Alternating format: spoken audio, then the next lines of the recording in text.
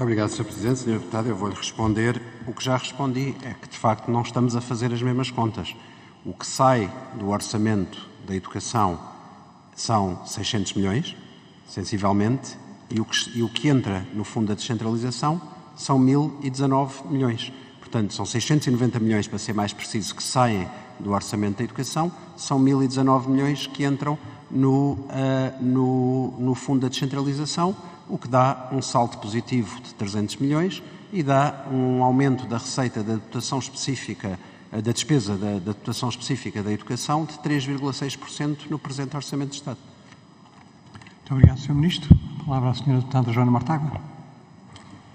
Uh, Sr. Ministro, não, não podemos ficar aqui no bate-boca, mas uh, registro que não tem resposta, porque o Fundo de Descentralização já lá tinha 832 e, portanto, aquilo que há a mais no Fundo de Descentralização, estou a ler o quadro e o Sr. Ministro não pode negar o quadro 4.13, transferências do Orçamento de Estado para a Administração Local. Entre a estimativa de 22 e o Orçamento de 23, há mais 372 milhões. Aquilo que sai do Ministério da Educação, como o senhor, entre um ano e outro, como o Sr. Ministro bem disse, são 600 milhões. Ou seja, há aqui 200 e alguns, se não muitos milhões, que saíram do Ministério da Educação e que, ao contrário do que o Sr. Ministro diz, não estão contemplados na nas transferências deste ano para o uh, Fundo de Descentralização. Eu acho que esta conta é evidente.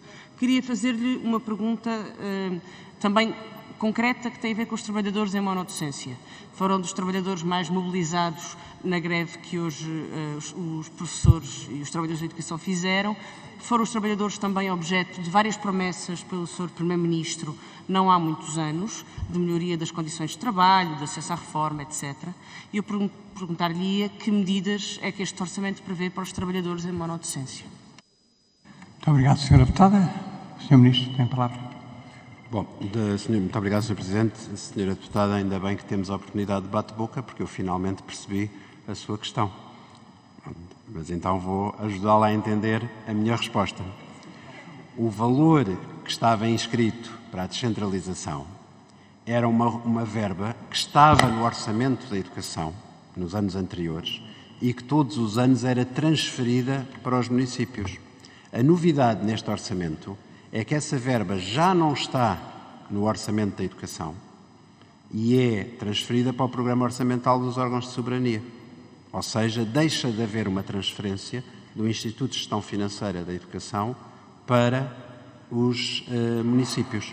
E isso é feito a partir da Direção-Geral da Administração Local, uh, das autarquias locais, uh, que ficará responsável por isso. E é neste, e, e portanto, quando diz havia uma verba que já estava no Fundo de Centralização, quando comparamos os, o Orçamento de Estado deste ano com o Orçamento de Estado daquele ano, aquela verba estava efetivamente na educação e era todos os anos transferida. Portanto, e assim chegamos à explicação cabal destes números. Eu confesso que estava, desde a última vez que aqui estive, estava muito baralhado com a sua pergunta e com a falta de capacidade de intercompreensão com que estávamos nesta, nesta matéria, mas penso que assim fica, fica esclarecida. Sobre a questão concreta que levanta sobre os, os, os professores em monodocência, são professores que têm, de facto, condições diferentes dos outros. Nós temos recebido várias exposições, várias exposições sobre estes trabalhadores. Eu penso que aquela que é a reclamação fundamental tem a ver com a idade a partir da qual começam a ter redução da componente letiva, essa é, é a principal diferença. Têm também uma possibilidade que outros não têm de terem um ano em que podem não, não, não lecionar eh, as condições são necessariamente diferentes. Eh, há professores que, a partir do segundo ciclo, têm muito mais turmas, têm um volume muito maior de alunos, estes têm menos alunos, portanto, tudo o que pudermos vir a fazer tem que ser ponderado e tem que ser ponderado também numa comparabilidade real entre as diferentes condições. Não estou, não estou aqui a retirar razão aos trabalhadores em monodocência, estou a dizer que Uh, temos recebido as suas exposições, temos recebido as suas reclamações e teremos de olhar neste quadro de uma efetiva comparabilidade. Muito obrigado, Sr. Ministro. Sra. Deputada Joana Mortágua. Muito obrigada. Uh, essa nova explicação exige-me fazer novas contas, uh, que eu farei. e, se for necessário, voltaremos a falar sobre este assunto. Sobre a monodocência, já entendi que o orçamento não tem, não tem medidas. E eu dava aqui um salto para a precariedade, não sem antes referir que, apesar de haver um compromisso plurianual de aumento dos salários da função pública em 2%, não há nenhum compromisso relativamente ao aumento das carreiras especiais, entre as quais a dos docentes. Há um, um, um aumento extraordinário dos técnicos superiores, mas que não se aplica à carreira docente. E, portanto, até ver o que nós vamos, eh, estamos a assistir é a desvalorização dos salários da carreira docente contínua, muito, e neste caso até a um ritmo superior ao dos restantes uh, uh, licenciados, digamos assim, ou seja, pessoas com um nível de, de formação similar, que são os técnicos superiores das carreiras gerais. Mas há na questão da precariedade uma, uma uma particularidade que eu queria discutir eh, com o Sr. Ministro, que não tenho tido a oportunidade, não sobre o número das vinculações, 5 mil nós veremos a curto prazo, que é insuficiente como é óbvio, porque ao nível, à, velocidade que saem professores do quadro e que vão sendo contratados novos professores, só este ano saíram 2 mil professores do quadro, vai haver cada vez mais professores precários e, portanto, estou convencida de que 5 mil chegaremos muito em breve à conclusão de que será preciso vincular mais professores, eh, porque a precariedade não vai diminuir, mas eu queria referir-me ao salário dos professores precários.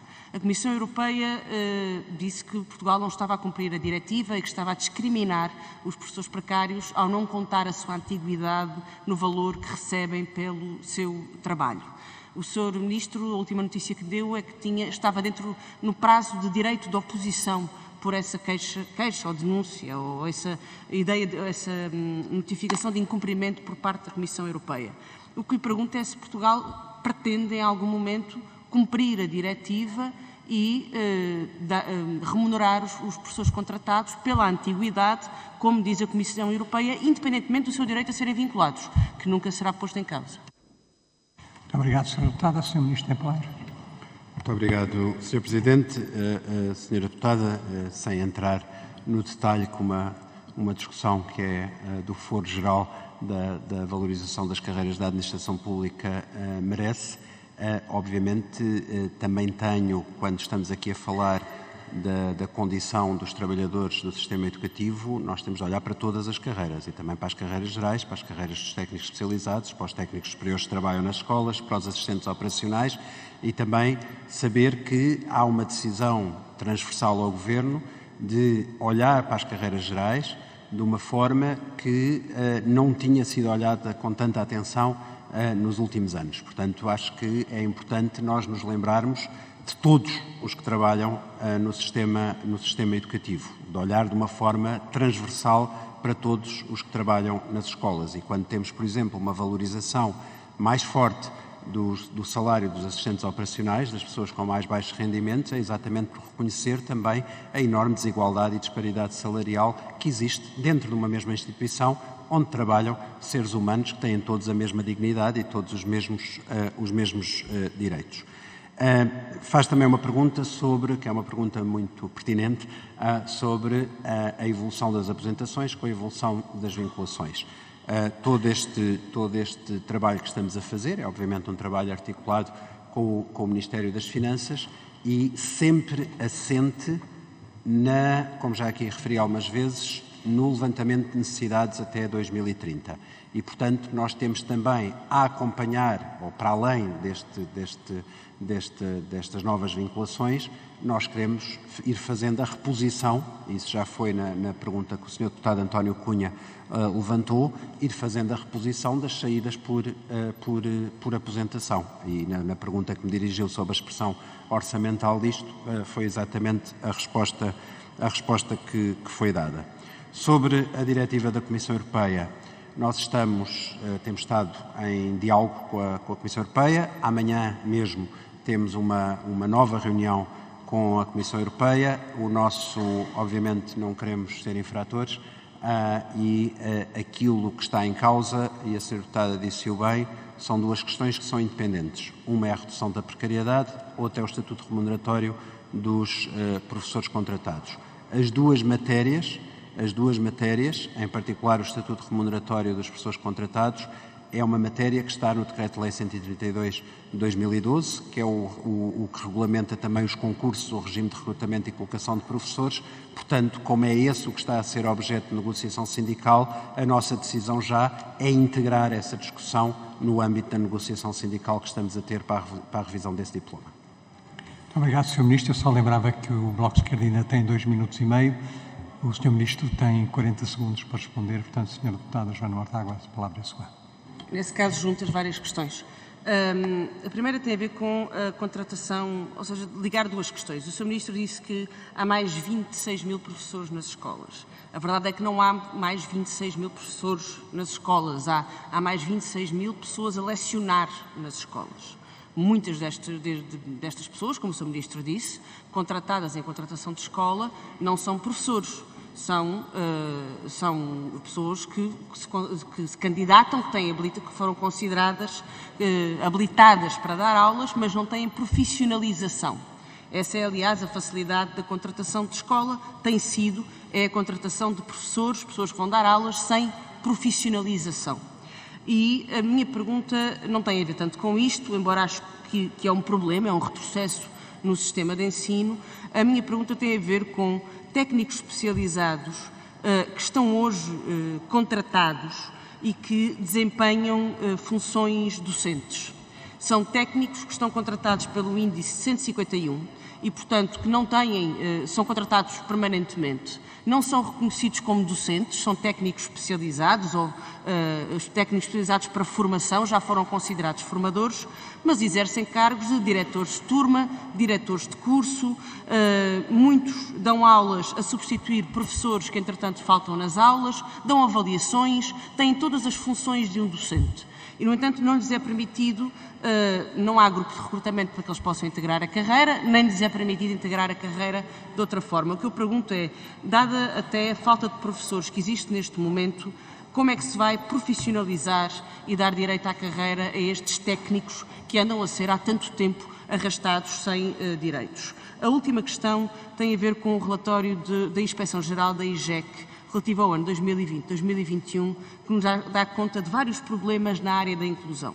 Dá-nos conta, por exemplo, que metade das, das, em metade das escolas analisadas, mais de metade delas não cumpria as regras de integração da comunidade cigana nas turmas. Dá-nos de conta que há muitas turmas eh, com alunos com necessidades educativas especiais ou que dariam lugar à redução de turma e que não estão em turmas eh, eh, reduzidas. Uh, dá-nos conta que o apoio tutorial específico só chegou a um terço, uh, não, uh, metade dos alunos elegíveis para o apoio tutorial, para o apoio tutorial específico não, não tiveram direito a ele e que houve muitas escolas que não o implantaram. deram conta de que há uma grande dificuldade de acompanhar alunos com relatório técnico-pedagógico devido à falta de recursos humanos. Eu vou terminar, Sr. Presidente. Eh, e, portanto, o que eu lhe pergunto é, sendo este relatório de 2021, eh, se o Sr. Ministro reconhece estes problemas, se eles se mantêm e de que forma é que este orçamento dá resposta a estes problemas. Muito obrigado, Sra. Deputada. Tem a palavra o Sr. Ministro para responder. Eh, muito obrigado, Sr. Presidente. Muito obrigado, Sra. Deputada. Tenho, de facto, muito pouco tempo, mas vou, deixe dizer o seguinte. Primeiro, eu não disse que há mais 26 mil professores nas escolas. Eu disse que desde o início do ano letivo contratámos 26 mil professores. Em alguns casos, para o mesmo horário, já contratámos quatro professores numa mesma escola, porque entra, sai, entra, sai, uh, e tem sido essa a gestão que tem sido, que tem sido feita. Uh, destes 26 mil, apenas 1.178 têm uh, habilitação própria, incluindo alguns técnicos para, especializados para a docência, para os quais não existe, não existe qualificação profissional. Na, na, questão que levanta sobre técnicos especializados, há que fazer aqui algumas distinções. Há, de facto, em, algumas, em particular no ensino profissional, em algumas áreas muito específicas, é mesmo técnicos especializados que precisamos. Noutras áreas, há, de facto, e eu enunciei a questão dos, dos dos técnicos que queremos que deixem de ser técnicos e passem a ser professores nas escolas artísticas, eh, enunciei isso na intervenção, eh, na intervenção inicial, mas eh, também porque há ainda algum trabalho a fazer no âmbito do PREFPAP, podemos voltar a esse tema na regularização de algumas dessas, dessas situações. Mesmo muito telegraficamente, Sr. Presidente, sobre as questões da inclusão, Uh, nós temos, das áreas em que temos tido mais investimento em termos de recursos humanos, é exatamente nisto. O grupo de recrutamento de educação especial eh, teve um aumento de quase 10% nestes, nestes, nestes últimos anos. Uh, nas, no, no âmbito específico das comunidades ciganas, temos vindo a fazer muito trabalho. Há comportamentos segregatórios dentro das próprias comunidades educativas que temos vindo a monitorizar e a tentar debater. Tem que terminar, Sr. Ministro. Muito.